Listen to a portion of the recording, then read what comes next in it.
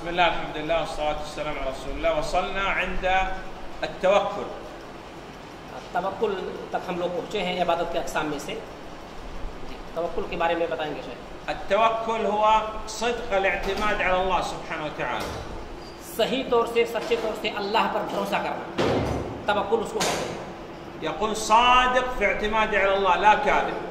دل سے سچے طور سے مکمل طور سے اللہ پر بھروسہ رکھے اس میں جھوٹ کی کوئی گنجائش نہ مع الثقة واثق أن الله سبحانه وتعالى ميسر له هذا الأمر.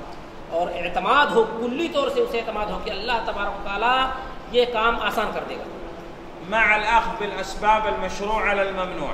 توکل کا صرف یہ مطلب نہیں کہ آپ پر صرف بھروسہ کریں بلکہ اسباب بھی اختیار کریں۔ نعم. كذلك عندنا الخشية.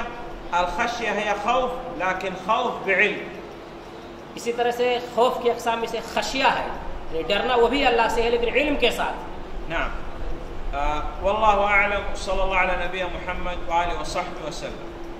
اللہ اللہ عالم اللہ تعالیٰ جانتا ہے۔ صلی اللہ علیہ نبی محمد و علیہ وسلم خليه يقفل هذا